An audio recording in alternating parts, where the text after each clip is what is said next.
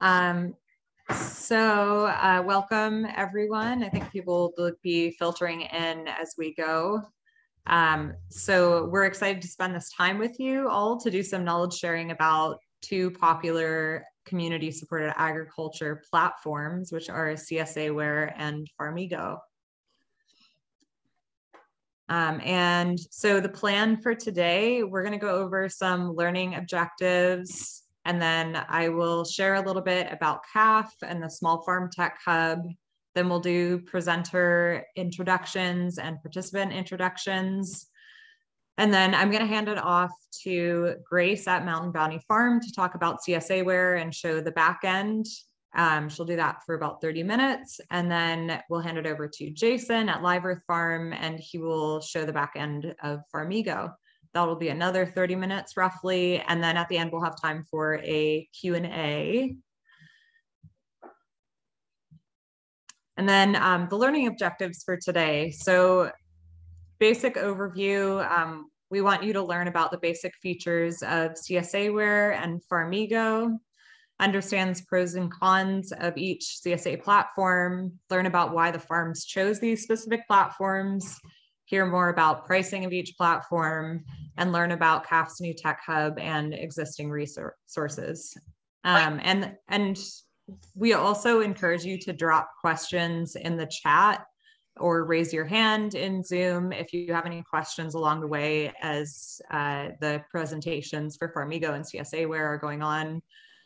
Um, and yeah, that's pretty much it. We want it to be interactive as possible. Um, and then about CAFF.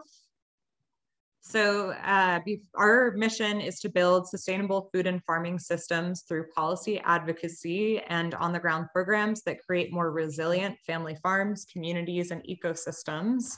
We are sharing a link to subscribe to our mailing list in the chat, including our Tech Hub newsletter. Um, we'll also share a link to sign up for the CAFF Farm, Director, Farm Directory. Um, so the directory has over 1,000 visitors a month, and it's a great way to make your business more visible and searchable. It allows users to search based on types of crops, location, farming practices, and guides potential customers to your site of choice. Adding your farm to the directory is completely free and only takes a few minutes. All that is required is registering with the CAFF website and filling out your information.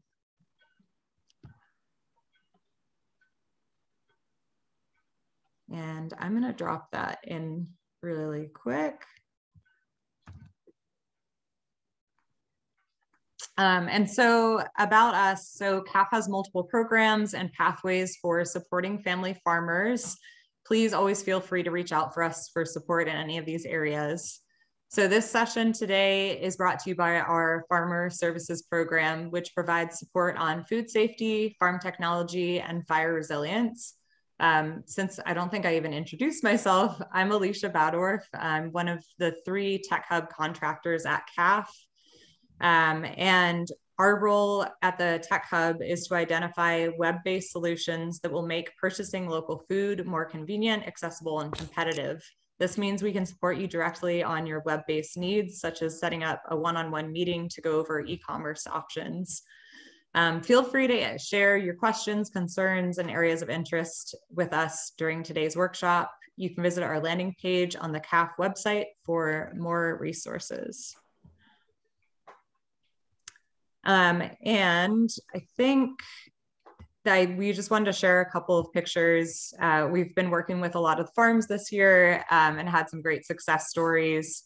Um, so with all this information that we've gathered about tech for farms, we've helped California-based farmers with strategies for social media, choosing e-commerce platforms, getting set up on Google My Business, and finding the best payroll software for their business and many other areas of interest.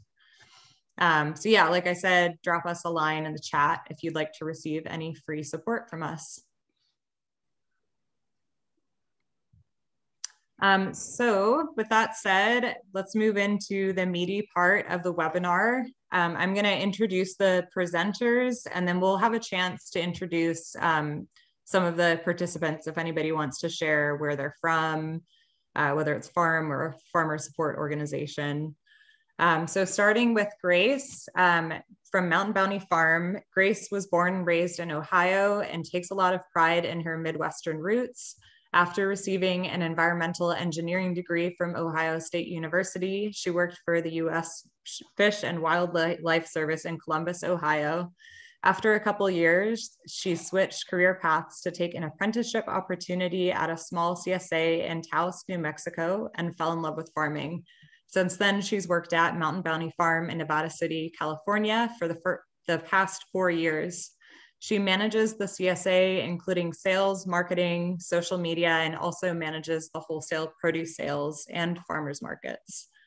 Um, so Jason from Live Earth Farm, um, he was born and raised in San Francisco, and he's worked for a number of years in retail grocery, and then he worked in various positions for both hardware and software firms in Silicon Valley before discovering community-supported agriculture and joining Live Earth Farm in mid 2011. Since then, he has been coordinating the farm CSA program using Farmigo software to manage subscription logistics.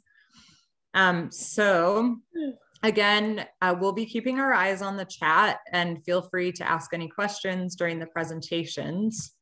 Um, before we move on, I do want to ask for some participant introductions. So I don't know how many people are in here right now.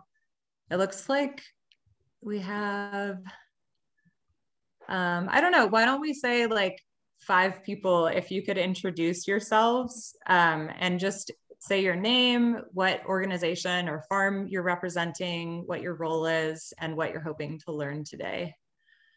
And feel free to unmute or raise your hand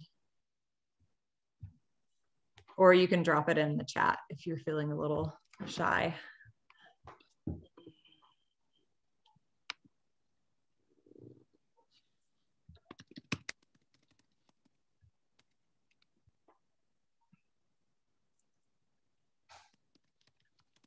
I can go. Can anyone Thank hear you. Great. Uh, my name is Raina. I um, am based in Cotati, California, and I just finished or closed up my time with Petaluma Bounty Farm, which is a nonprofit farm um, in Petaluma. And now I'm going to be joining my um, farm mentor in her current farm business model. And so a large portion of it is going to be focused on a uh, on the CSA. And so she has tons of experience. Um, I just have maybe about four years doing it from a nonprofit perspective. So I'm looking to attend this to learn more for myself and to as we're upping our subscription program this coming year for 2022 so really looking at how to streamline logistics online platforms that whole thing that um, we neither of us have embarked on as much before. And so yeah looking forward to learning from everybody. Um, yeah that's it Thanks for sharing. Uh, yeah, I think this is going to be a great opportunity. And if questions come up for you as we're going, please raise your hand, drop a question in the chat. I see Kim introduce themselves over the chat. Nice to meet you, Kim. Anybody else? I'll go next. Sure. Um, my name is Tom Inners. Um, myself and a business partner, William Henpen, have um, just uh, taken over ownership of Live Oak Farm here in Petaluma, California. Um, the past year, we have been um, starting a new farm uh, by the name of Humble Roots out in Solano County. Um, and so both myself and my partner William come from food and wine backgrounds. Um, so our sort of niche is um, servicing uh, restaurants first and foremost and sort of um, chef driven culinary projects. Um, and so um, while we're here sort of in our transition, um, we are looking to sort of bolster up our CSA program and just kind of see what kind of um, resources are out there. Um, we've done some research on some of these softwares in the past and have kind of found a threshold at which, you know, certain membership makes sense for doing something like this as opposed to just running spreadsheets and um, just kind of being organized in our own side of things. So I'm excited to see what tools are out there and at what sort of capacity does it make sense? Does it not make sense for a small farm like us? Thank you for your hosting. Thanks for sharing. Um, I see a couple more popped up in the chat here. Shine Ranch, Carlos Gomez, nice to meet you. Thanks for being here. Anybody else want to share?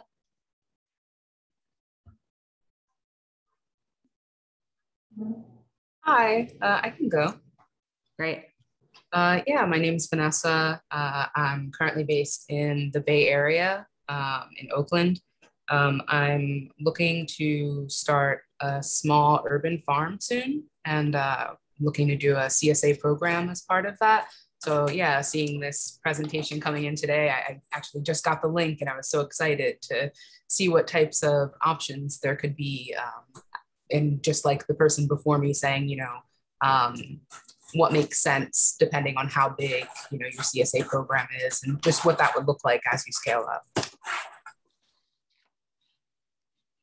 Thank you, Vanessa. Thanks for being here. Anybody else? Otherwise, I'll get started.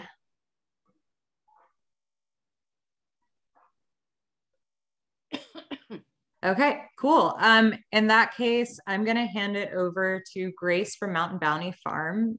Um, and thank you, Grace. Take it away. Thank you. Hi, everyone. I am here with Mountain Bounty Farm in Nevada City, California.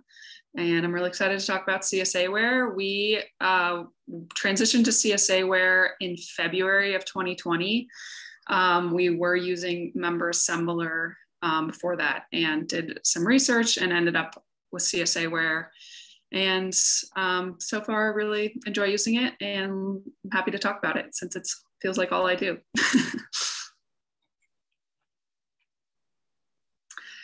yeah, I just have a few slides about introduction to our farm, and then I can share my screen so you can see more of what happens um, with the software. But Mountain Bounty Farm itself is a vegetable farm, um, primarily vegetables, 18 acres in cultivation, and we're primarily a CSA farm. That is our bread and butter. We do a little bit of wholesale and farmers market, but um, the vegetable and our other CSA offerings are really our main um, markets. And we have 15 staff in summer, eight in the winter. Um, then we have two delivery drivers who do our two delivery days and a part-time bookkeeper.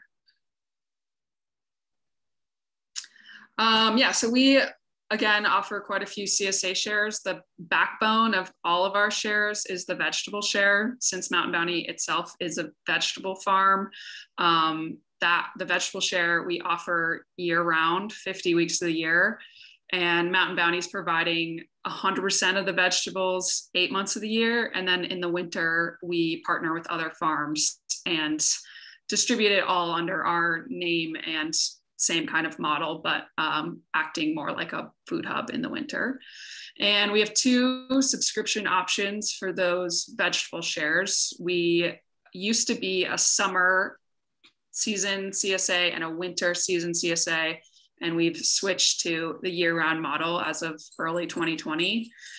So at any time, you can sign up for six months, regardless of season. And that's just like an, a relic of the CSA model, and those people pay up front. But then we've also introduced this um, pay every four delivery subscription model, um, just because that's kind of like more easier on the customer. It's really flexible, you know, easier billing, that kind of thing. Um, so then we also offer two seasonal fruit shares. Those have the same subscription options. You can pay upfront for all the whole season, or you can pay every four deliveries. A farm partner distributes those for us. Um, then we have multiple flower shares, and we've trialed both bread and mushroom CSA shares before. Um, yeah, so just membership wise, again, the vegetables is really our baseline since Mountain Bounty is a vegetable farm we used to have an issue with this having a summer CSA and a winter CSA where we would start the summer with 300 members, we slowly grow up to 700 members, and then start of the winter season we drop back down because we wouldn't get everyone to renew, which really prompted us to pursue this year-round model. And so with we both the pandemic and us switching to this year-round model happened at the same time. Um, so since pandemic, we've had consistent membership of 800 to 1,000 year-round members. We just we have two distributions to our local Nevada City Grass Valley area and then to the Tahoe Truckee Reno area. And so we have a kind of a split um, membership, and that's about 300 local and 500 in Tahoe Truckee and Reno. And then we also have a significant fruit share um, membership, both in the summer and the winter. And again, the fruit team we partner with is distributing those for us. The flowers, the bread, and the mushrooms are all distributed by us. Um, and then our CSA shares, we um, do not offer any customization. It's curated by farmers. It's what you get is what you get, very standard model. Um, and customization is an option in CSAware, and I can show you kind of what that looks like, but we it's not something we're currently utilizing. Um, and then we deliver the shares weekly. We are trialing biweekly for a few members who are asking for it um, and kind of seeing what that looks like. So right now, that's not an option on our website, but it's something that admin is able to do for people. So if people are telling me that it's too much produce and they want to quit, I can off. It's a tool to kind of say, hey, do you want to go biweekly instead of ending your share?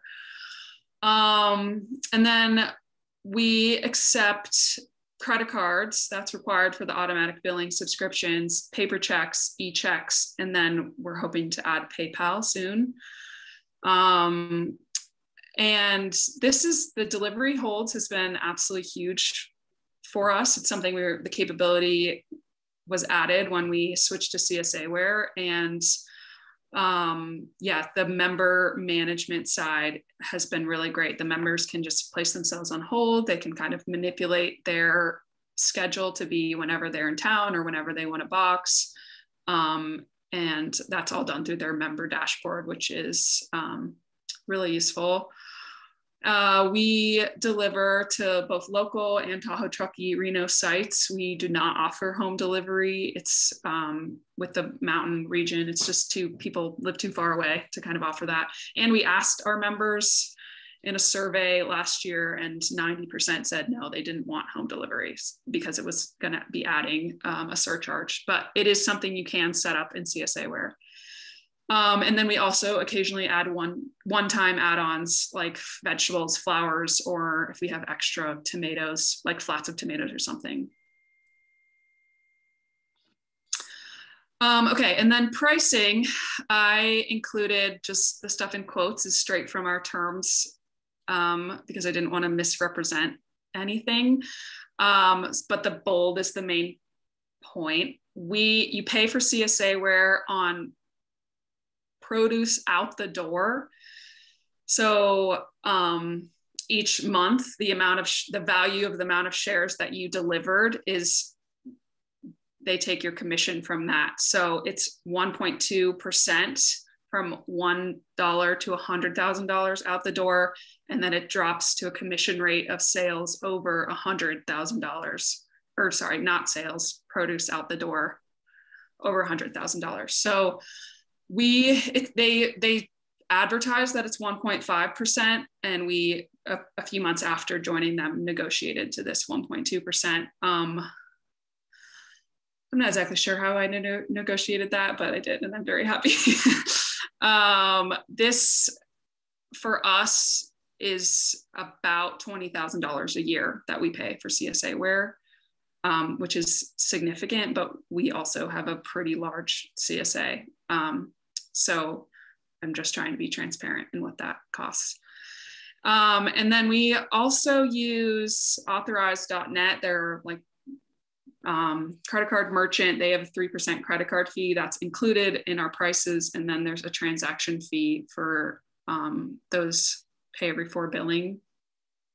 Um, I actually don't know what the fee is exactly, but it's very small.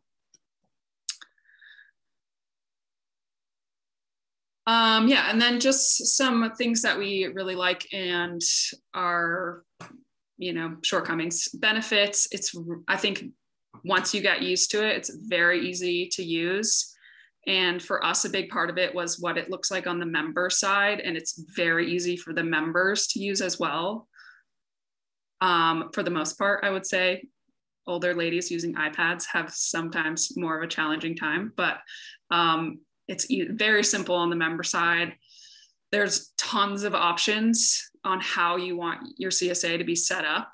Um, their customer service team is so incredibly responsive. I'll be freaking out about something, email them, and she is the one person I work with is always responsive, which I really appreciate. Um, their tech team is seems good and solves any major issues. Um, I think it's a good price for what we're getting out of it, especially what the members get out of it.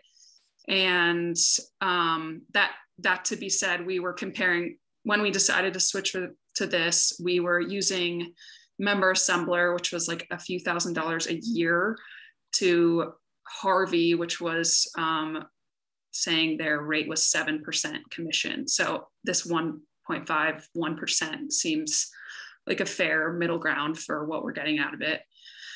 And they're constantly updating the software, which is really great. They just redid the user interface on the admin side and they're building new tons of new features. Um, and they're not asking for a price increase. So I think that those are all really great things about it shortcomings we really wanted something that was like ours that we owned and so we looked into having a hiring a software developer having our own software and it ultimately is not worth the major price tag with that.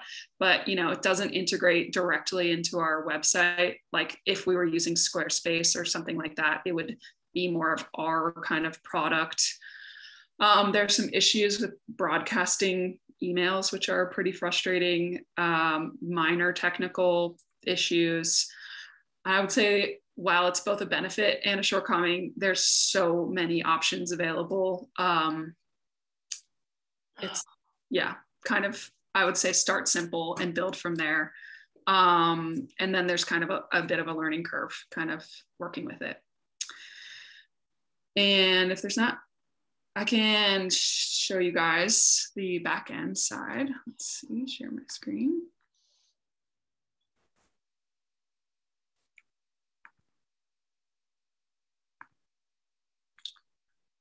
Okay, can you guys see my screen? Mm, not yet. Not okay. Yet, yeah. Oh, great.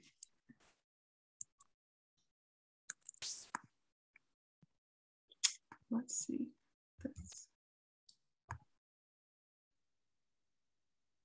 There you go. Okay, great.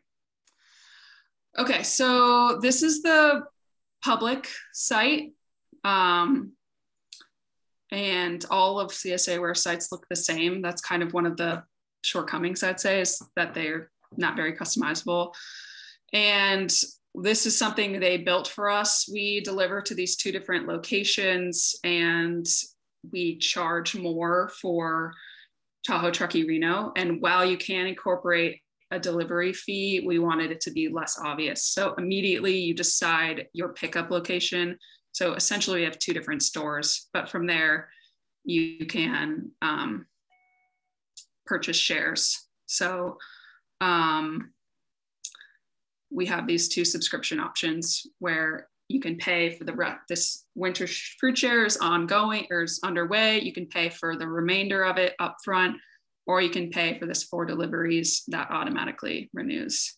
And the only delivery frequency option is weekly, and you're already kind of forked into this side of the website that is for Tahoe Truckee. And then, yeah, we're really just a CSA farm. So we're only selling these CSA subscriptions. We have one-time add-ons. Right now, our only option is um, these vegetable shares, but we can put, if we're offering, we could put fruit, flowers, bread, um, mushrooms, that kind of thing in there. So that's what it looks like to the um, member. And then here we can talk about the admin side, which is over here. Okay, so this is the main admin side. Um, lots of information. I don't really spend a lot of time here. I do, you can search for members up here in the corner, or most of the time I'm going here to search for CSA members. Um, the if I'm searching for like a specific group of people, there's these filters you can add from the left hand side.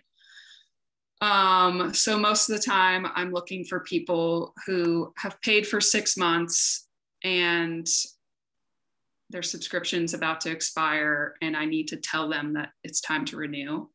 So I'll go to page that's not loading right now that says all the CSA members for the vegetable shares in Western Nevada County, and then I can sort by what I'm looking for. Um, so it's easy to um, navigate the CSA members in that way. Um, and they just added a feature that I wanted to show people, which is that you can text your CSA members. You can, so we have um, a lot of automatic emails set up, including a day of delivery email or text reminder. But now we just added this feature where you can individually text each CSA member. Um, and so, yeah, when when you're looking this at this member data, you can um, download any kind of subgroup category if you're trying to manipulate that in Excel or whatnot. Um, you can also look at people who have opted out of promotional messages or send your weekly newsletters from here or look at people who just have login accounts. This doesn't um, integrate with MailChimp, which so occasion, you know, every few months I like download everybody who has a login account and upload that to MailChimp. Um, but from here, I can send broadcast emails.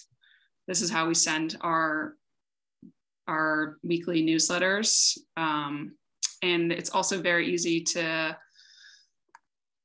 target a certain group of people that you want to email. You can, there's many different filters. You can go active next week, which day of delivery, weekly or biweekly, what shares they have, where they pick up, um, the other people on their subscription. So very easy to communicate with your members and manage your membership.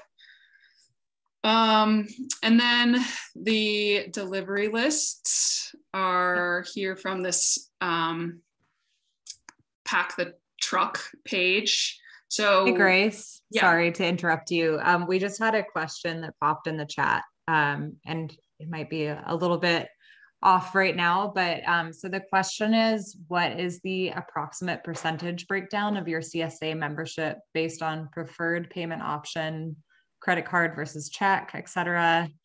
And is this resource handy for all payment types and tracking paid, unpaid? Yeah, so we have, um, I'd say 20 or 30% of our membership pays by paper check. That's in prior to moving to CSAware we sent paper sign up forms to our members and most people sent in checks. So we are moving away from that, but that is still a big base is yeah, 30% pays by check. Everyone else pays by credit card. Um, and of those who pay by credit card, 60 or 70% are on the automatic renew plan. Um, yeah, so that's gaining popularity. That's that means they're the paying every four weeks via credit card. What was the other part of that chat? That question? Um, what is it? it was I'm not sure what it's is this resource handy for all payment types and tracking paid and unpaid so like maybe is this platform like does it show tracking of who's paid? Yeah so it shows you can sort people by their balance due which is a helpful way to look at what what they have due. You can sort people by um, balance due over here or people who have indicated that they're mailing a check and you haven't gotten it yet you can get that group of people to show up. There's also an automatic email that's sent out to people who you've they've indicated that they're mailing a check and haven't received you haven't received it yet so I think it's like two weeks after they've signed up and you you haven't cleared their balance, then they automatically send a check or send an email that says you have a balance due. So I send probably a monthly email from these people who have a balance due, um, you know, reminding them to pay their balance. We also accept people a, a handful of payment plans for people who need it. So um, that's why everyone's not paid in full right now. Can I ask too, um, Jason, if you would be available to answer that question for um, Live Earth Farm about like the approximate distribution of uh, those different types of payments for Sure, your CSA? Yeah. Uh, our, our payment system is a little bit differently. All of the majority of our payments are ongoing, recurring payments that members sign up for. And um, I would say 99% of them are electronic, broken down between e-check, uh, the credit debit card, and then PayPal. Um, some members can pay up to $2,000 at a time. There's very, very few who do that. The majority of our members have the recurring payments of either 100 or $150. And so those payments process based on um, their balances and when their balance goes below zero. So they'll have like a $150 credit and if they spend that over three weeks, then another payment of $150 will process. Um, we were doing all checks uh, prior to going to Farmigo. It was uh, a nightmare. We had pre-written checks for installments that if uh, you know we deposited six months later and they bounced, we had to follow up with everybody. So having having all electronic payments is uh, relieves us all of a headache, really and it's a convenience for um, the majority of our members who most of them have just switched to, to doing it that way rather than uh, paying by check. Thank you, Jason. Um, and then Grace, I'll put you on the spot again, but there's another question. so it's uh, what is the approximate percentage breakdown of your membership based on the six month payment option versus the four week blocks? Yeah, so it's um, 60 40 on 60% is still paying every 25 deliveries and 40% are paying every four weeks. And these numbers are for mostly the vegetable share, that though it's also an option for the fruit share. But yeah, what we're mostly keeping track is the vegetables. So more people, everyone we uploaded into this software was paying in 25 week increments. And so either they've switched to pay every four billing or a lot of since we introduced that as an option most of the new subscriptions that come in are the pay every four billing the people who are used to 25 weeks continue paying in 25 weeks most of the time. Um, so yeah about that 60 40 it's we when we set it up we didn't think we thought the people who paid every four deliveries would be unreliable and um, we're charging them more to be on that plan and ultimately they're they're not unreliable. They just like the convenient billing. There's people who have people i think people stay a lot longer when it's just automatically renewed Thanks, Grace. And then um, one other question that came up, and maybe you and Jason can both answer this. Um, so, for since there's people that are on a fixed budget or receiving economic assistance, does this system um, have a capability to work with EBT? So, yes, you can put people, designate them as EBT members, but it's not taking payments via EBT. You still have to we do those via paper voucher and calling in because we don't have EB, we only have one reader and like 25 pickup sites. Um, so you can put people on EBT, they can sign up indicating that they're going to pay with EBT. But if, since the way it works with our farm is that we don't have a reader at every site, um, they ha- there's some they have to contact us or really we contact them and say okay here's how ebt works with the vegetable shares. We really only have a handful of people on that plan. We do offer financial assistance um, about 40 or 50 families are on financial assistance. That's usually a 20% um, discount. That's funded by both other community CSA members and the farm.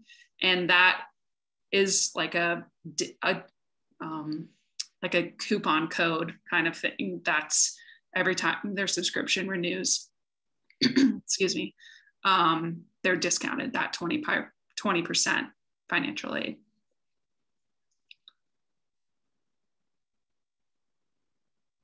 And Jason, how about Farmigo? Do they accept EBT payments? Uh, right. Well, very similar to what Grace was talking about is that uh, a processor is needed for the card, and that's not something our farm has. And Farmigo doesn't have an integrated way to bill an EBT card. And a lot of that has to do with um, how it's set up by the USDA and how those SNAP programs are used. And um, you know, it, it, needs to be something that's changed kind of on that end that then allows a process like ours that delivers food uh, items to be able to use that program. Yeah, it would be help. It would be helpful if that would be a lot easier. but yeah, we have one reader and it's just in our office and I run the payments offline twice a month. Which I'm not exactly sure. Well, yeah, that's how you're supposed to do it. You can only accept payment two weeks in advance. Go ahead, Elizabeth.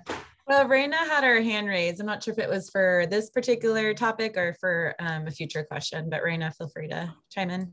Yeah, I, I just wanted to ask vocally, so I couldn't write it. It was confusing when I wrote it. Um, this is sort of a general question, I guess, for both too, um, and about uh, the CSA. Is is there a minimum amount of members that you would recommend that these either of these platforms would actually be worthwhile pursuing? You know, I'm personally we're looking at me at our lowest 150 and then and years growing maybe we get up to 300 in your experience do are either whether it be from a financial perspective of like okay yeah what we're paying into this is worth it or from just like uh maybe you don't need something that's like built up or built out as CSAware or Farmigo. Do you either of you have perspective on scale and usefulness for different farms? Um, I would just comment that pre we used to do the like delivery lists and delivery holds via an Excel spreadsheet with five to 700 members, and it is an absolute nightmare. And this makes that way easier. um, I would, it's hard to conceptualize, I, I would say 150 members might be a lot easier to just do in an Excel spreadsheet if you have the time. I also honestly, we used to pay someone full time to be a CSA manager, and now we pay the software and me part time. So this just replaced a human being doing a lot of that um, work. But I, I don't, I'm not sure I have a good um, projection of what scale is worth it. I do like that this charges based on boxes out the door. So you're always paying that 1.5% no matter your size. Um, but yeah. Um, I would kind of recommend in terms of considering a system is whether uh, you want something that may help you grow larger than what you were talking about 150 300 members um, and how much time you want to spend on paperwork and, and spreadsheets on the computer. Uh, these programs, uh, they're designed to make that part of your uh, business a lot easier. And it is sometimes in consideration um, worth it to pay that little bit, uh, you know, cost per delivery than spend hours tearing your hair out because you made a mistake in a spreadsheet four pages down and having to find that item and correct it, or you make mistakes. Um, and then in terms of convenience for uh, the people who are joining your CSA, um, I believe it helps uh, retain members simply because they find the whole process so much easier uh, to involve themselves in. We have a web store. We're, we're a customizable CSA, so people can go in and they can see the you know picture of the item and add it or subtract it. And, and there's uh, more involvement than uh, you might get simply by uh, using an Excel spreadsheet and telling members, okay, you know, you're going to get what I put on that. Um, so overall, if you're looking at how to manage turnover as well, it, it, these programs manage that first by member retention by making it easier for them to stay, Um, but then by allowing people to join um, more easily and more quickly um, as so that they are constantly bringing in and filling in those places of the people who are leaving. Um, again, if you're, you know, have a CSA program that you're not necessarily locked into for a season or something like that. Thank you. Um, and I, I also want to add uh, that, and Elizabeth made a point about this in the chat, that this is sort of part of the services that we're offering through the Small Farm Tech Hub, because a lot of these decisions are so based on your farm and your unique um, needs and um, the, the way that your marketing is set up. So um, yeah, like Raina, we're happy to have that conversation with you if you're looking for someone to like evaluate what works best for the farm um, and yeah, Elizabeth also made the point in the chat that um, there's some smaller CSAs that are using different programs that are maybe a little bit more cost effective. Um, but yeah, I'll leave it at that for now. Um, and there is another question. I might take this last question and then let Grace keep moving in the presentation. Um, but I think that also as we get deeper into their shares of the back end, you might be able to see like, okay, what's the functionality here? What are the benefits of having these software programs like CSAware and Farmigo? Um, so uh, Grace, I'll just ask you this question, and then we can we can move on with your presentation. Yeah. Um, so, do your your CSA members see value in the software? So, I guess more on the customer end, can they notice a user experience difference between you using this system versus your previous spreadsheet setup? Um, and they're just wondering how transparent it is for a CSA member. Yeah, they absolutely see a difference. I think the the biggest thing is that they're now using it for this placing their share on hold.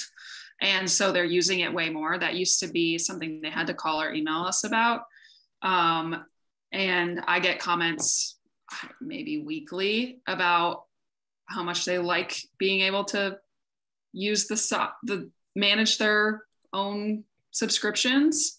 Um, with that, there is plenty of confusion and questions that I'm still here to answer. Um, but I, I think they absolutely see, I think the value in the ease of vacation holds for, you know, that pays for this software in itself. because like the week of Thanksgiving, we had 180 boxes on hold. And that I didn't have to, I talked to maybe five people, and that is just a, a huge weight off my shoulder.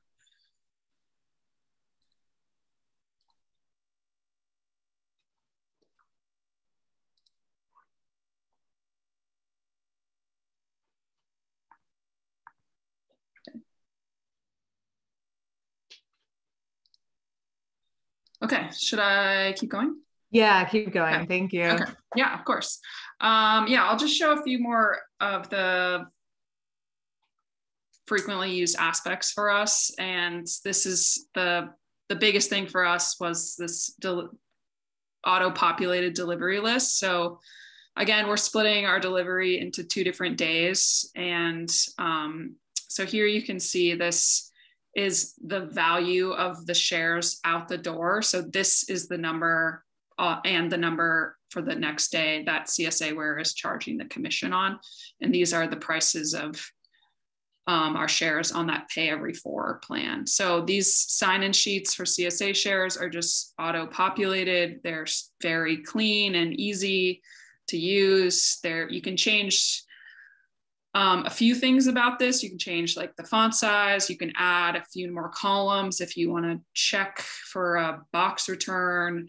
And once this it's this is still editable for the admin, so it's populating this draft across the top. But once it's final, things like someone if someone's last delivery, it'll say last box or first box on there. It'll say unpaid if you've um, like if you're you're on automatic renew and your credit card fails and you haven't updated it yet so there's a it's a nice way to communicate with people a little bit um, there's also, you can print packing slips and labels. We don't use labels because all the shares are the same. We just have two different sizes which are labeled, but um, it's it's easy to automatic automatically print labels, packing slips. Um, that's mostly what we're we're getting from here. Oh, this is a nice summary of each site. This is what I'm giving to our delivery drivers. And this also includes add-ons, which you can see here. Um, so just a clean kind of summary for our drivers and for everybody. Um, so yeah, there's then the harvest list. We're this is not a feature we've used yet, but um, in the summer when we're harvesting our produce, it's something we definitely should work on incorporating. I just set this up for this week so you could see it. Um, so this is showing the harvest totals for each um, crop that's in the box this week.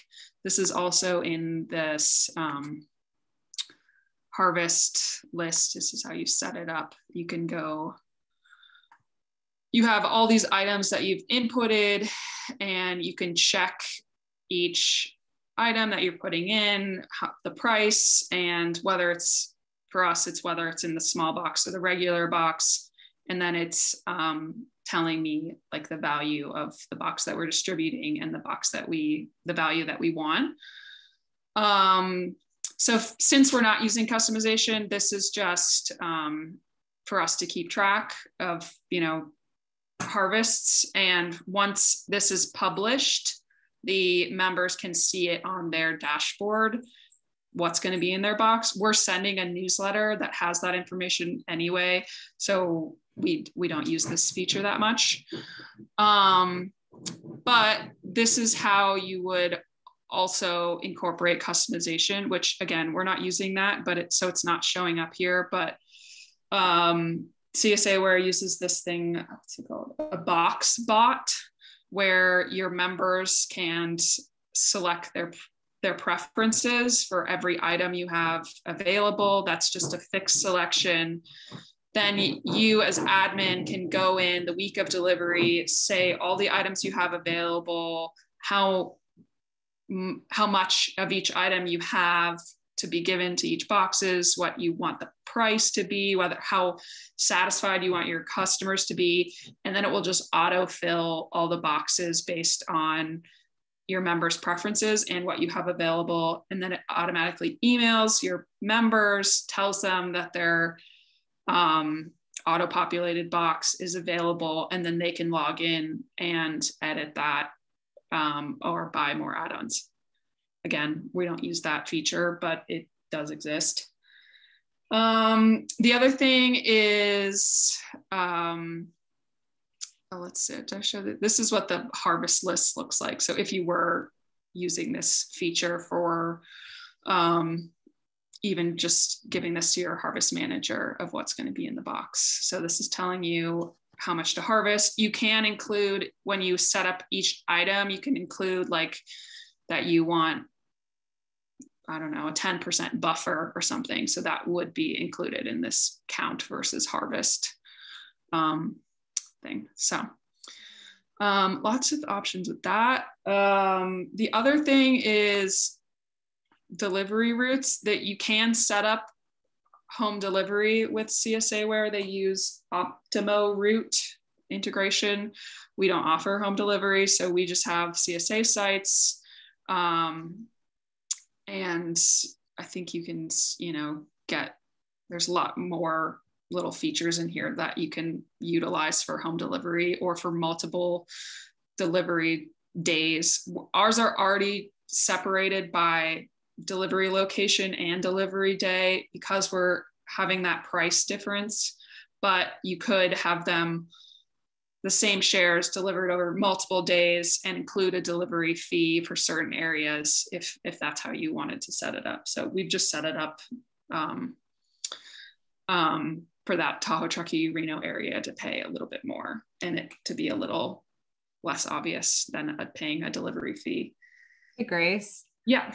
Can I ask you a question really quick? So you said that the um, thing is called Optima Route or something like that. Yeah. Okay. Um, yeah, just wondering. So, does that help you to like order your drop spot so it's done in the most efficient way possible, or what? What is the function of that? Um, so yeah, OptimoRoute, you can, so in our current iteration, we could use it for our, our drivers could tell members that their shares have been delivered and they would get a text. Or you can, if you're doing home delivery, it auto populates a Google Maps route for most efficient delivery. And then you can, again, tell your members when it's delivered and they get a text. So it's a seems like a very cool feature for home delivery and that they've done a lot of work with integrating that. I think they've done that in the last year, um, but we're not using it. So, um, but I, it seems really cool. It's again, like we, I said, we asked our customers if that was something they were interested in and they just weren't at this time.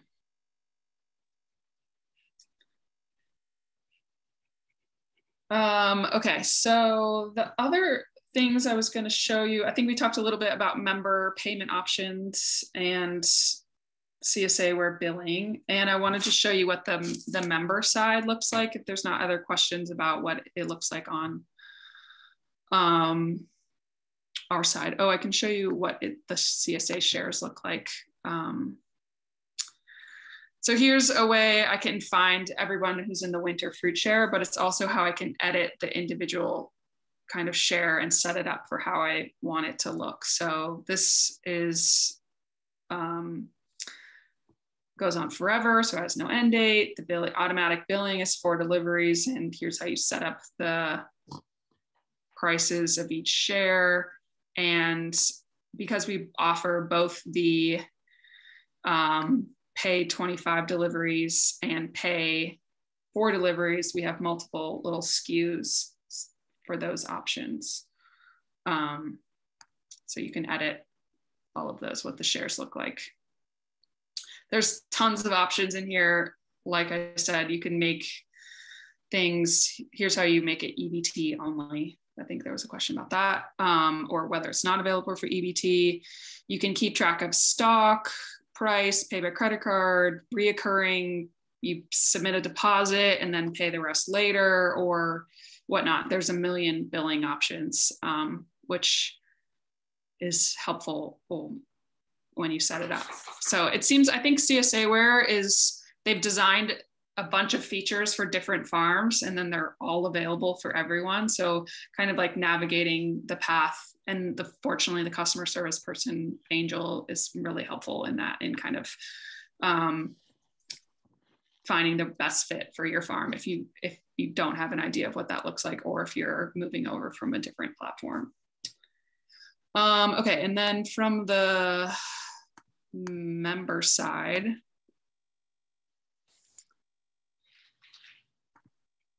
here's the member dashboard. Um, so I this is mine and I have a lot of subscriptions so it may look a little bit different but um you can see this is where you would see what's coming in your box. If I had published that um, list of items in the box this week it would show up here if you had a vegetable share. Um, you can edit your subscription you can allow your members to have as much or as little um, power as they want. So ours can only change their delivery um, location. They can't change their delivery day or their frequency. They can't convert this share into a different share, but that is an option. So they can really just change their pickup, buy more credits for more deliveries, or just cancel their share, um, which I think that's enough for them to do. Um, and they can see if you have a balance due, you get a big red button here to pay your balance um, with credit card or e-check. You can see your past orders. Um, it's, yeah, I think it's very easy for them to navigate. Um, as far as placing your box on hold, which is the biggest thing I think our members are using this for is this is this week's delivery. And so it's past the member deadline to place their box on hold. So it's you're not you can't click this hold delivery. It's saying it's in process. It's too late. But for the week we come back from vacation, um, you can hold your box or get your box. And then you get an automatic email when you do that. And um, it seems super easy. They can also shop, contact us, um, lots of things. They, if if we had more add-ons, I think this is it integrates e very easily to shop for add add-ons to your delivery, but we don't do that very much. Um, yeah, I think that's all I have. Great, thanks so much, Grace. Um, so we're gonna hand it over to Jason at Live Earth Farm, and then um, after he shows the back end of their Farmigo account, um, we will start open it up for a Q&A and come back to some of these questions in the chat. All yours, Jason. Okay, so this is the share screen button, right?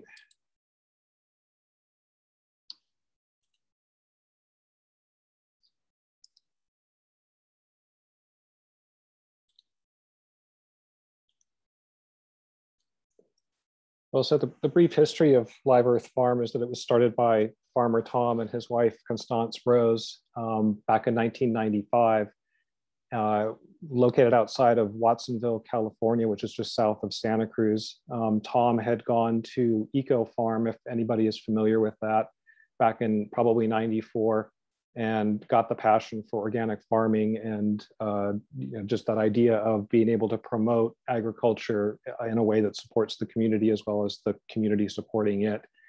So they found a farm that was uh, available and started it and had a, a relatively small, um, I think I'm gonna guess it was maybe about 10 acres at that time. Um, by 2009, uh, 2010, they started um, using Farmigo because they had grown to the point that they were uh, no longer able to manage those subscriptions with FileMaker Pro and just you know do everything by hand. Um, they had a CSA coordinator, but she was getting overwhelmed. Uh, in 2010, that's when community supported agriculture, that, that buzzword CSA really got started and growth began to happen for the next couple of years. And by 2011, you can see there were 900 shares that they were delivering and they had locations all the way up in San Francisco and Oakland. Um, small, but you know, still it was a foothold in the city up there. Um, 2012 started to kind of see a trend downward. Um, there was a lot of saturation in the market of CSA, and um, a lot of other programs were coming on trying to take advantage of the whole concept of delivering local uh, farm produce to people. And so by the end of 2013, uh, we, you know, we're down to about 650, having only started with 400. Uh, we kind of looked at the writing on the wall in terms of we had been a traditional CSA up until that time doing, I like what Grace said about um, we were curating the shares ourselves and, and selecting and, and uh, not allowing members to edit.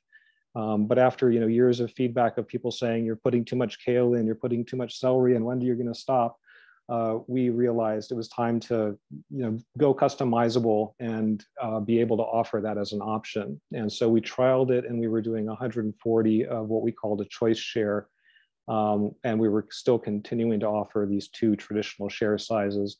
Uh, and we were um, charging a five dollar handling fee at that time for the choice share to be able to you know do that customization of it.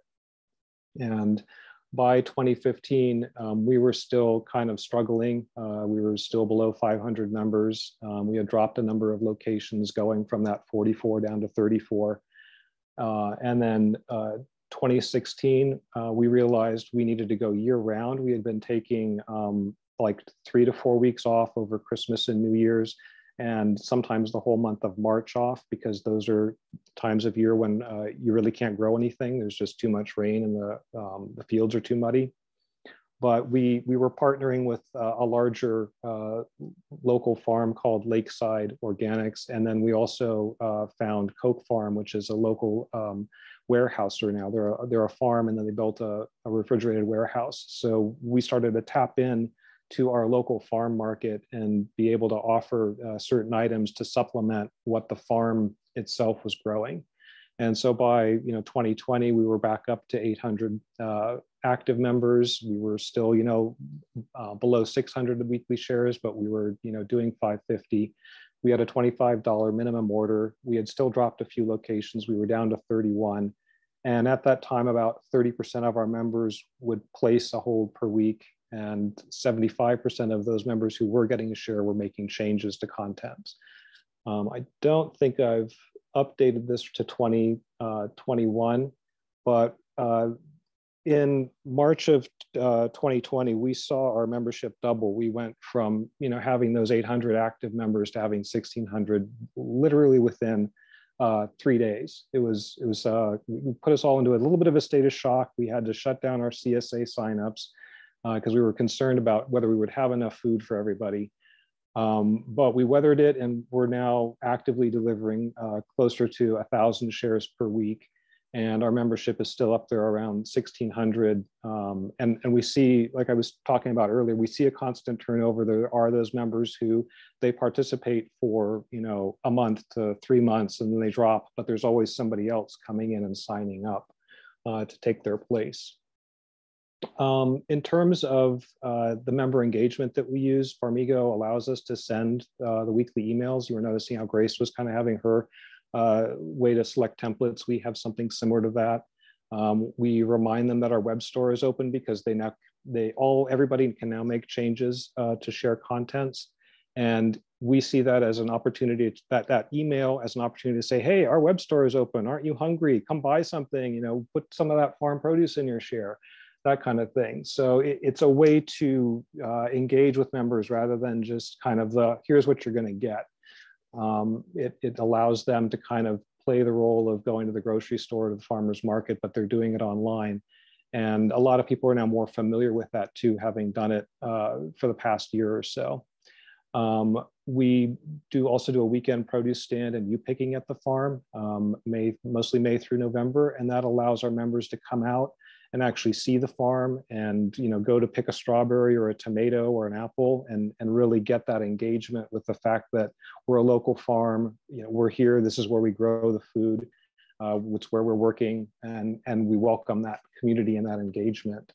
Um, and we've done that more uh, through the social media of Instagram and Facebook because you know that's that's a way that our members engage with uh, everything. Uh, so we have a social media person. She runs around the farm to farmers markets to wherever she happens to see the farm out in our community and take a picture and, and posts it uh, for people to enjoy.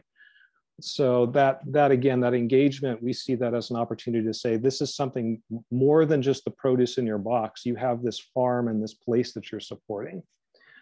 Um, in terms of uh, having a software service, it automates all of those admin functions that uh, we were talking about and that Grace was mentioning, the payments, uh, reports for harvesting and packing and delivery that I can take from the office and I can go down to the barn and hand to the crew.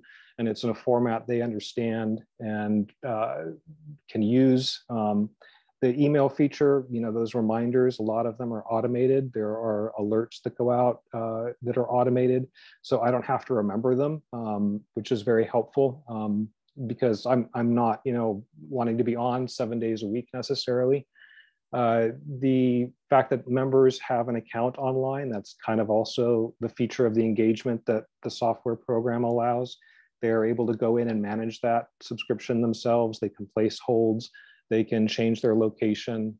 Uh, they can see a history of what their deliveries were, uh, looking back and see you know how that uh, what they got like last week or two weeks ago that kind of thing um, and the fact that it allows customizations of shares I and we we couldn't have really probably survived that kind of transition where people were moving out of um, accepting a traditional share and really wanting to be able to customize, uh, we wouldn't really be where we're at today. If we hadn't survived, we still would probably be very small. Um, and the fact that they have the web store that they can look at uh, similar to what Grace was saying, you, you, have to learn a software program and be able to help the members. Um, if you're not a software savvy person, you're probably going to want to find somebody who is so that they can help you with this.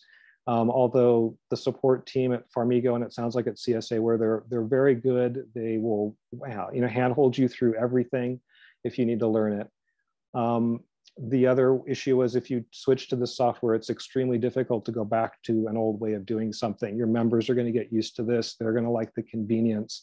Um, and you are too. So there's that idea of you can't just unplug from a software program and say, okay, we're going back to doing it, you know, in a card, you know, catalog with uh, uh, little um, note cards or something like that.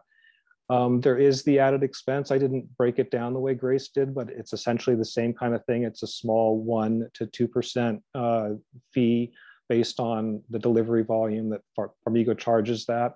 Um, and then it is, since it's based on delivery volume, you're not charged anything when you don't deliver. So those weeks when we were taking time off, we weren't paying anything uh, for using Farmigo. Um, but members could still go in, access their accounts, still make changes, do all sorts of those uh, activities that they would normally do. It wasn't like they were shut out of it. So Farmigo was still there and working. It's just we weren't paying for it.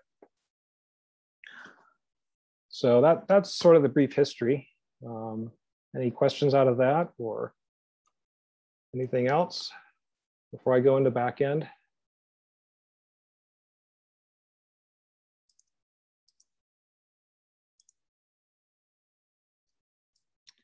Yeah, we so, should have time for questions after you show more so we can. Sure. Okay. So we're jumping into this. Okay. Well, so this is the dashboard that I land in um, when I'm using Farmigo. And first, though, I want to show you real quick um, what it looks like in terms of the joining process, because this will kind of give a, a jumping off place. So when, when members click the sign up for our CSA link, they reach a place where they can choose a pickup location. And uh, once they do that, it's given uh, a day for the delivery. Um, they then go in and they choose the, the one size share that we offer uh, right now. We, we streamlined it. It was uh, getting a little bit too crazy with having multiple share sizes. So having uh, one share was a lot better. Um, we offer options where they can uh, get some extra fruit added to their uh, items. They can have a loaf of bread that's made by a local bake shop added. Um, we use uh, paper, uh, paper liners in our boxes, but some members find a plastic bag a lot more convenient, so they can you know switch to that and have that added to their box every week if they want instead of using the paper. Um, in terms of a payment, this is the kind of terms that I was talking about uh, members choose a payment plan. And we, of course, want to encourage them to you know, sign up big. So we offer bonuses as a way to incentivize that uh, greater payment to uh, join.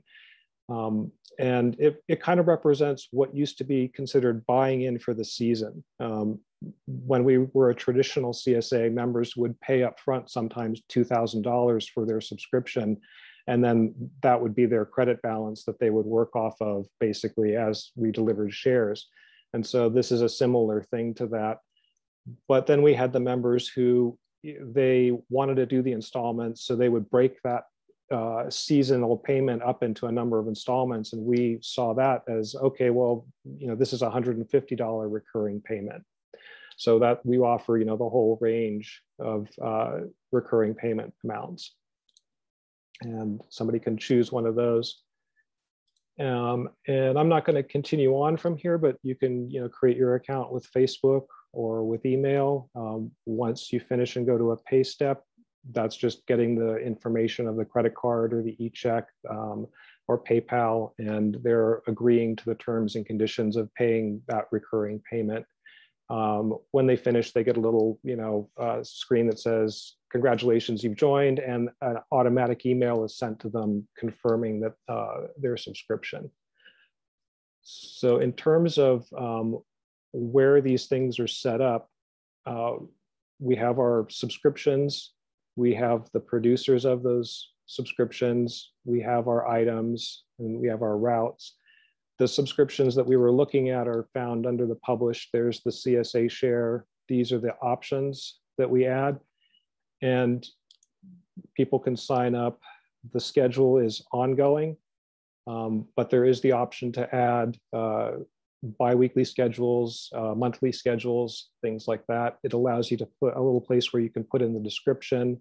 Um, we have a link where it goes to our website. People can get the frequently asked questions, and then a place where you put the image that they see. Uh, we are the producer of this share, Live Earth Farm, um, and we also have need to have um, a Spanish language because a lot of our crew is um, from Mexico and originally speak Spanish and read Spanish. So uh, Farmigo put this in and allows us to have that Spanish title.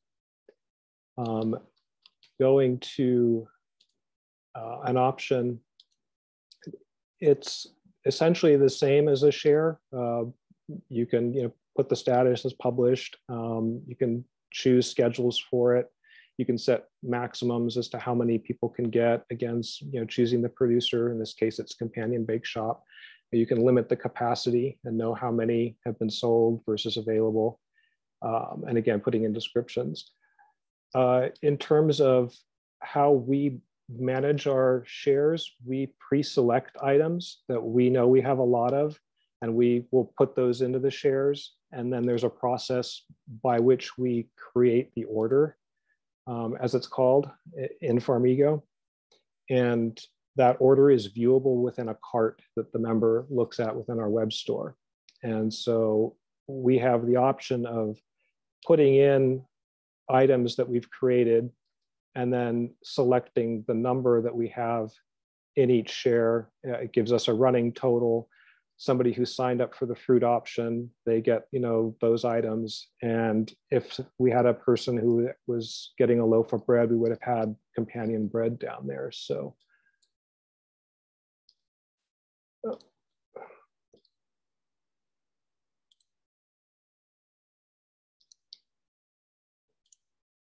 I could go in and I can say, oh, I forgot to add the bread to that particular box. So let me do that right now. And now anybody who had a bread share would be able to get that loaf of bread.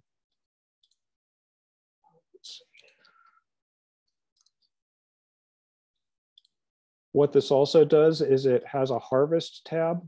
And for each of these items, I could assign a source and a secondary source. Uh, so for instance, if we had uh, these apples and we wanted to say they came out of orchard number one, I could put in orchard number one here. If we got these carrots from Lakeside Organics, I could put Lakeside in here. And then this information within this uh, area here shows up in a different report, which um, is this sourcing breakdown here. So this would be where that field one or orchard one um, or lakeside would show up. And it's showing that, you know, for Sunday through Sunday, we need to basically have all of this available um, for members for the boxes that we're going to pack.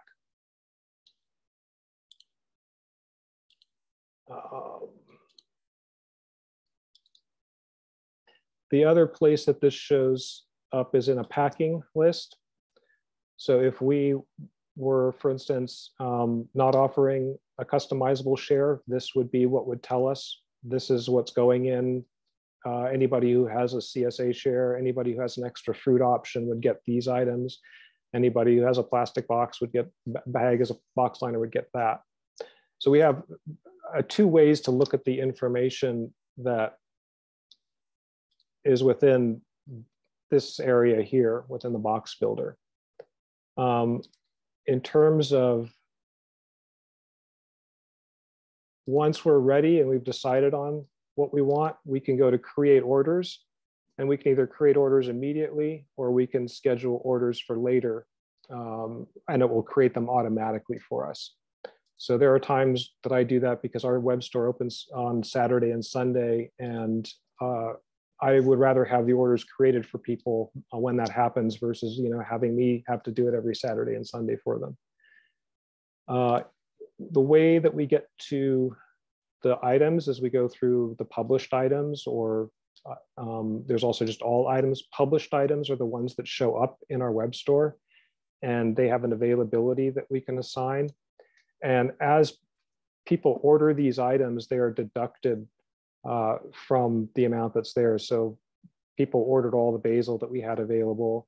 Um, there's only one loaf of bread left here, that kind of thing. And as, as it reaches zero, it disappears from the web store. So the members will no longer see, oh, there's broccolini. Um, somebody would have to need, to, somebody would have to remove it from their cart in order for this to show back up again. But in terms of uh, the items, it allows us to, again, say whether it's a published um, item, we assign the price, uh, the unit type, whether it's ours in a, in a category for our web store, we can choose this or uh, for instance, we have pantry items. So we have a for your pantry section. Uh, again, we can set max on the number of uh, items that a member can uh, order in case we don't want them to get six if we have a limited amount. Uh, we can put our name or somebody else's name here. Um, and again, there's the Spanish title that we use actually for our packing labels. Um, and this packing weight allows us to organize the item on our label. Uh, so that I'll get to that in a second here. Um, in terms of the web store, when members are shopping, this is what they're seeing. Um, and they have, you know, the choice of all of the items that are produced by us. And then uh, the categories, for instance, other produce, um, these are the items that we're able to source from the other local uh, farms and be able to um, offer the members we started carrying pantry items because we saw it as another way to engage with the members and create uh, items using our farm's produce, the excess, uh, uh, you know, kind of get that value added product, and then also just have the chance for people to uh, get a non-produce, non-perishable item, um, something that will last them a little bit longer and uh, you know give them that incentive to get a share that week versus just you know not getting anything at all because oh i can't get the right items or something like that or it's too many perishables so it offered us the ability to also you know work with for instance a coffee roaster locally and um, again companion bake shop we also have honey that we get from um, someone who brings hives to the farm so it, it allows us to get into our network um, of people and, and suppliers and support them as well. Uh, in terms of an overall report, once I've, once members have placed their orders, we have what we call our sourcing breakdown report, and it would be similar to what's called the harvest list in CSAware. And we can uh, get it in a pre-formatted PDF that allows us to just view it really quickly rather than um, it's, it's essentially this one, but it will show all of the all of the items that have been ordered for the week, including um, ones that we were not putting into the boxes. Let's that's running. Hey, Jason. Yeah. Hi, um, if you could do like about five more minutes, I want to make sure we have enough time for the Q&A at the end. Yeah, okay. Thanks so much. This is all really, really awesome, really helpful. So just quickly, that's the, the way that this list looks for essentially a week that we're going to harvest. Um, in terms of managing member subscriptions, uh, there are ways to filter. I can select different types of subscription. Um, we can find out is somebody on temporary hold? Are they on permanent? Are they not on hold? Uh, we have site hosts, so they have subscriptions as well. If I wanted to just select all the hosts, I could choose that or all the members. Um, and it allows the ability to, uh, once a membership is called up, be able to email those people.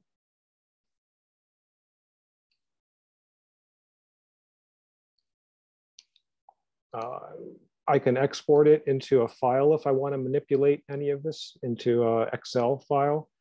Uh, if I want to see you know, who is ordered uh, for our Wednesday delivery, I can go into the store orders and I can find those members and email them exclusively. This also allows me to sort by, for instance, anybody who um, got that broccolini. I can choose that item and I can find anybody for our Wednesday delivery who happens to have broccolini. And if, for instance, uh, basil this week, I was mentioning basil, we uh, it got killed by the cold that we experienced. So we have a bunch of members who ordered basil and I'm gonna have to tell them, sorry, we don't have any basil. So this would be the way I would do it is by choosing um, the item that I want.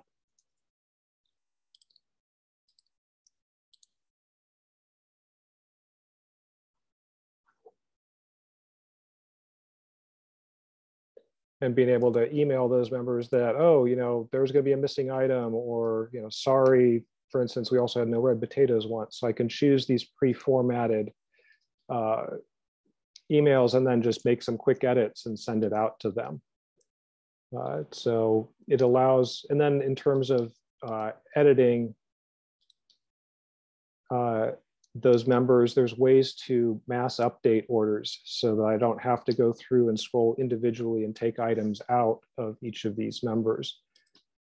Um, but this is what the inside of a member's account looks like. But if I need to manage it, I can see what are they subscribed to, when is their next delivery date. I can see their locations over here. Um, they have a payment plan that they've signed up for and this is what their upcoming order contains. And I can either edit the quantity or delete it if I want. Um, there's a history of their payments that they've made down here. So if there's any problems with the payment that's happening, uh, I have that at hand. There's also the history of their uh, deliveries. And so for instance, if Amy said, hey, I didn't get some item on December 8th, I could look and see was that item first in her uh, box to begin with, and if it was, then I can credit her for it. So there's there's handy information here. Um, in terms of how it looks to the member when they're in their account, they're able to manage all of the different information, like they're able to themselves see. Um, well, I'm not able to see it for you, but they could have checked and noticed, oh, there's an item in this web order that I didn't get.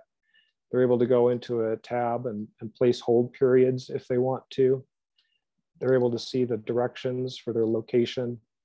Um, if they want to change their pickup site, they can change during certain hours. Uh, we, we lock people out of making changes uh, beginning Monday morning so that we can do everything but they could also change their subscription here. Um, they could change their delivery for one to location to one time if they were going to be somewhere else for a week. And they can manage their payments in terms of getting in and choosing a different payment amount or updating details, those kinds of things. Uh, all of this payment information is stored uh, offline in a third party. Um, so Farmigo doesn't actually have any of it. It's all handed off to somebody else that transacts it and, and keeps it secure. Uh, was that about five minutes? Am I, how am I doing? Yeah, I, that was about five minutes. I think we should transition to questions. Um, and thank you so much, Jason. That was very, very helpful to see the visual of the back end. Sure. So um, I'm going to just roll into the Q&A and I wanted to make a couple notes um, just that this is just sort of like a very quick grazing of the surface of these platforms. Um, and they can be used, there's so much functionality in them. I think both Grace and Jason pointed to this, but that you can use it differently depending on your farming operation. Um, I worked for a farm that also used Farmigo, so it's really interesting to see the way that Jason has been using it at Live Earth Farm um, because it is like different. Like we don't do custom CSAs um, at the farm that I used to work at. So our use of the reports and everything was a little bit different, but I think it's just a good point that um, it, you can use it to your farm's needs, basically, each of these platforms. Um, and then I also wanted to mention that there are some great resources on our website for the Tech Hub um, if you're looking for more answers and like guides to these questions. Um, and also, of course, like please reach out to us if you have any specific questions. And we're offering free technical assistance. Um, so I want to start addressing some of the questions that were put in the chat, and then um, I see there's some more coming through, so I'll address those too. Um, and then you can also raise your hand if you have a question and I will make sure to get to you. Um, okay, so the first one is how much time did it take for you to set up CSAware to be operable for your farm? Um, so yeah, I'll hand that over to Grace. Yeah, we um, had a two month trial period where I was running both um, CSAware and our little Excel pivot table at the same time. And that allowed me to kind of like, there were at least four weeks where I did the delivery list by hand and then also double checked, you know, what was auto populating from CSAware. And so um and then it was also like all the automatic emails were turned off so that you know i was learning how things worked and not blasting our csa members um i would say i'm happy i did that in the winter where i had some more time to work on it i'm in a ballpark that it took me like probably 60 hours to get it set up well that's really high 40. Sounds realistic to me. yeah. yeah. And of course, CSAware was there hand holding the entire time. So they're super helpful. Thank you. Um, and the next question is for both farms. Have you noticed a difference in the number of delinquent accounts since transitioning to web payments? Um, and this is with regards to moving from traditional payments that cover a year or six months to smaller, more frequently occurring charges. Um, I can just touch on this. Yeah, I we see a lot more credit cards being declined, and it's um, really unclear of like whether that's insufficient funds or just like the credit card world we live in where payments get declined. Um, so that is an extra burden of admin work. There's, I'd say, an average of 10 orders of the several hundred that are going through every Friday that get declined. And you can set it up whether you want to stop their share immediately and not send it if they don't pay for it, or we unfortunately are very forgiving and send shares anyway when they're not paid for and they just get a debit on their account. So i can keep track i can still keep track of them that they owe us money that it doesn't disappear that way and it shows up on the delivery list that they are unpaid and they get you know multiple emails that say pay us money um, but they do they can't there are more of them with this um, uh, automatic billing situation. And Jason, what has your experience been with that? Uh, well, so I didn't make the transition myself from um, the checks to Farmigo, but there are definitely you know, accounts that uh, the payments fail on, and it's often I find either because of an expiration date or uh, there was the you know the card was reported as stolen and they, the person didn't update their information um, in our recurring payment system.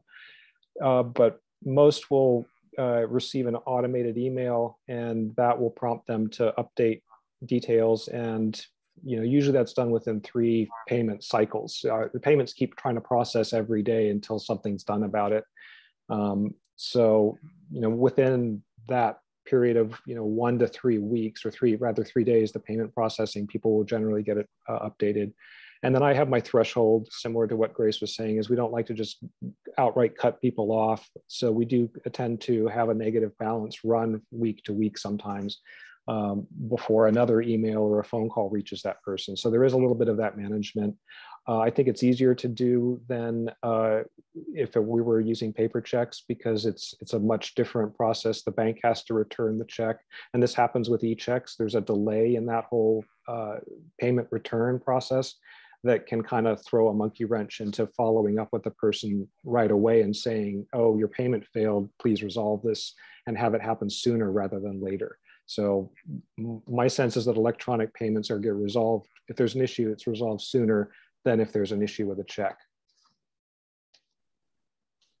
Great, thanks to both of you. Um, and then here's another question that either of you could answer, I think, but um, do you use uh, the same software to manage your suppliers? Um, I guess your suppliers supply of produce, the produce from other farmers. Um, and this kind of ties in to a question I thought might be helpful um, because I think both of you uh, I like bring in produce or products from other farms. Um, so is there, are there any like reporting functions that are helpful for tracking for like your organic certification or for food safety within these programs that makes that a little bit easier? So this is kind of a two part question and Frank, please let me know if I phrase your question correctly. Uh, well, am I still on screen share? It looks like maybe I am.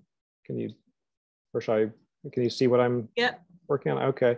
Well, in terms of that box builder part that I was talking about, um, where there's the harvest list where you can uh, assign a source, uh, that's one way to do food safety and uh, organic certification tracking because they want to know where did you get this from um, and then you're able to tie it to the shares that you're delivering the boxes uh, in terms of um, the first part of the question, uh, reporting for producers, other farms, uh, Farmigo has that in terms of the, the sourcing breakdown. Again, it would be something similar to where you're assigning a source for an item and then you run a report. Uh, I don't know which one to show you exactly right now, but you can select the producers. I think it's the distribution report. Um, where or you can choose a category of producer, um, that kind of thing, that allows you to isolate out, oh, you know, these are all the items I'm getting from that other source, whether it was for us, it would be Coke Farm or, or Lakeside.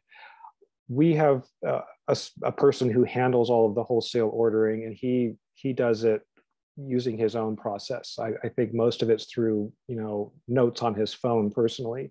Um, but he takes information that I give him and puts it into his process and, and then orders the produce based on that, um, the number that I give him that is generated by the software. Yeah, similarly, we have a wholesale in the winter when we're buying in produce, we have a wholesale manager who keeps track of that. And because of the way CSAware is set up, you'd have to um, set the supplier for beets to be some other farm. And since Mountain Bounty Farm is the supplier 10 months of the year, we're sticking with that and it's still under our CSA name. So we keep track of the stuff for our organic certification separate than CSAware.